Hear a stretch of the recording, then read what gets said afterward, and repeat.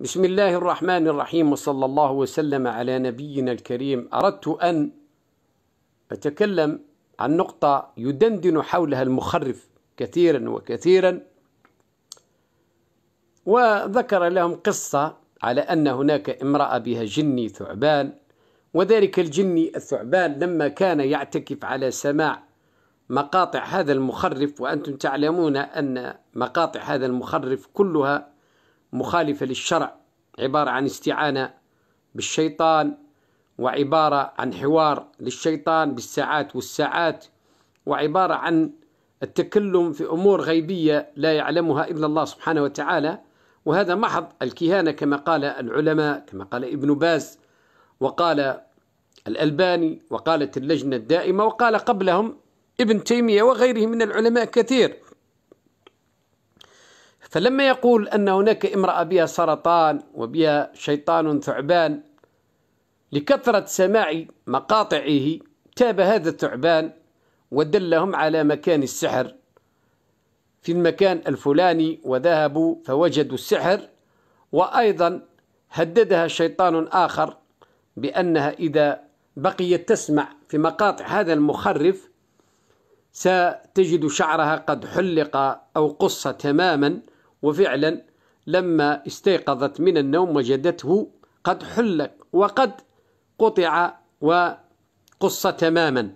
ثم بعد ذلك فعلت التحاليل فوجدت مرض السرطان قد اختفى وهكذا. أين الغرابة في هذه القصة؟ هو يقول قصة غريبة. أين الغرابة؟ أين الغرابة في القصة؟ هي حقيقة قصة قصة غريبة من جهة أخرى ليس من الجهة التي كان يريد أن يصل بها إلى المرضى المساكين البعيدين عن الأحكام الشرعية البعيدين عن فتاوى العلماء البعيدين عن الأمور الخطيرة البعيدين عن أمر الكهانة وما حكمه عن الشرك وما حكمه عن التنجيم وما حكمه عن الدجل وما حكمه. وهذه الأمور التي يتعامل بها مخالفا فيها كتاب الله وسنة رسول الله صلى الله عليه وآله وسلم. مخالفا فيها فتاوى العلماء ما حكمها في الناحية الشرعية وما حكم من يسمع لهذه التخاريف وما حكم من يذهب لهذه التخاريف ويصدقها. فهذه الأمور هم بعيدون عنها كل البعد وهي أمور خطيرة وخطيرة جدا جدا لأن مصيرها إلى النار والعياذ بالله. وقد حذر منها العلماء. أمر أنه هذا الشيطان يسمع للمقاطع يسمع للمقاطع.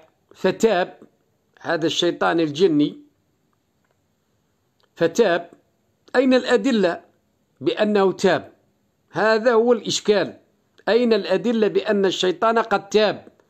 قد يقول الدليل هو أنه وجههم وأخذهم إلى مكان السحر. نسأل أيضا أين الدليل بأن هذا السحر سحرها؟ أين الدليل بأن هذا السحر الذي أخذ إليه هذا الشيطان هو السحر تلك المرأة. هذا من جهة من جهة أخرى في قضية قص الشعر أمر بسيط وسهل. المرأة بها الشيطان وبها الجني يدخلها في حالة إغماء ثم تذهب هي بنفسها تحمل المقص وتقص شعرها وتضعه في كيس وخلاص. أمر بسيط جدا. أين الغرابة؟ أين الغرابة؟ أين الغرابة؟ هذا من جهة. من جهة أخرى في أمر السرطان أين الأدلة؟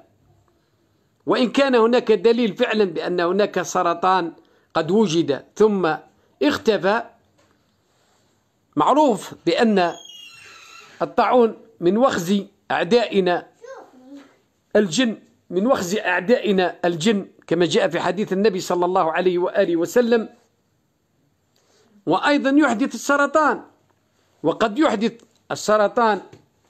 الشيطان يحدث السرطان من أجل هدف معين من أجل هدف معين لكي يصل إلى ذلك الهدف وهو تصديق الناس لهذه التخاريف وهذا الدجل وهذه البدع. ويصبح الناس يسمعون إلى الحوار أكثر مما يسمعون إلى كلام رب العالمين. من الذي أخفى السرطان إن وجد فعلا؟ أخفاه الشيطان أم أخفاه القرآن؟ من الذي يخفي المرض المستعصي سواء كان مرض روحي أو مرض جسدي يخفيه سماع كلام رب العالمين الذي هو شفاء للأبدان والأرواح شفاء للصدور ورحمة للعالمين أم يخفيه الشيطان في حد ذاته؟ من الذي يشفي القرآن أم الشيطان؟ فهذا التعامل وفي هذه المسرحية وهذا الأمر الذي أظهره الشيطان إن وجد حقيقة هذا من أجل أن يجعل أولئك المتابعين وأولئك المشاركين وأولئك المرضى المساكين يصدقون أمر التخريف أكثر وأكثر يعتقدون بأن الرقية الشرعية هي الحوار مع الشياطين.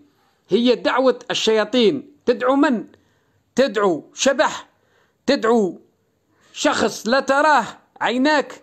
تدعو شخص غائب عنك. قد يكون أصلا غير موجود في الجسد. قد يكون متحكم من مكان بعيد وبعيد وبعيد عن الجسد. قد يكون ذلك الخطاب الذي تخاطبه مع ذلك الشيطان هو بعيد كل البعد عن الجسد وهذا من أجل أن يؤثر في عقول المرضى المساكين البعيدين كل البعد عن فتاوى العلماء الأجلاء بأن الرقية هي عبارة عن حوار بين مخرف إنسي وبين شيطان جني وهذا غير صحيح. لو كانت الرقية فعلا هذه لفعلها النبي صلى الله عليه وآله وسلم لما وجد ذلك الشيطان في صدر عمرو بن عثمان بن العاص وأيضا لفعله الصحابة رضي الله عنهم وأرضاهم ولفعله العلماء الأجلاء مثل ابن تيمية لحاور بالساعات والساعات وفعل وفعل وهذا لم يثبت عن ابن تيمية ولا عن ابن باز الذين حاوروا الشياطين حاوروهم لمدة دقائق معدودات.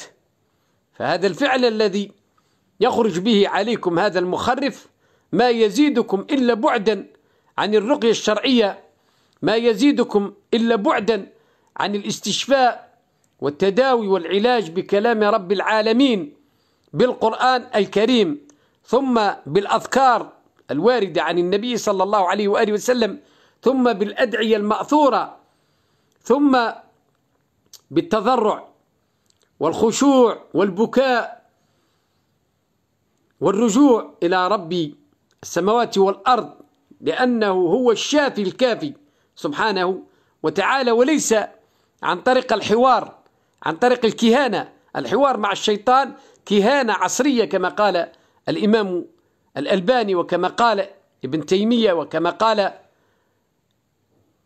ابن باز وكما قالت اللجنة الدائمة وكما قال صالح آل الشيخ. الحوار مع الشيطان والاستعانة به إما شرك وإما وسيلة إلى الشرك ولا يغرنكم بهذه التخاريف التي يخرج بها عليكم. والله العظيم ما تزيدكم ما تزيدكم إلا بعدا عن رب الأرض والسماوات. وقد يقول قائل قد ظهر الشفاء قد شفيت هذه المرأة. قد ظهر عليها الشفاء وما يدرك بأنها قد شفيت. الشفاء ليس في خروج الشيطان الشفاء في إزالة السحر.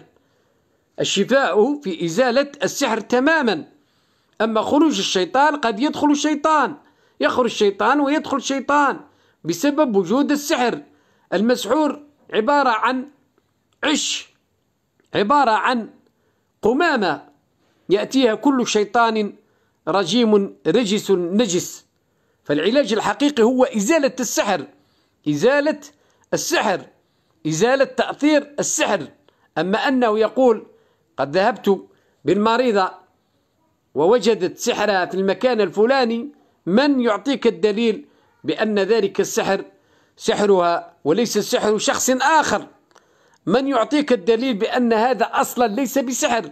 وقد رأينا ووجدنا من, من المئات من المرضى الشياطين تدخلهم في حالة إغماء ثم المريض نفسه يذهب ويجمع عظام ويجمع الشعر وأظافر منه ويجمع مسكسيك ويجمع أمور وأمور حتى أنه يأخذ لها دم الحيض هي تأخذه بيديها لأنها في حالة إغماء.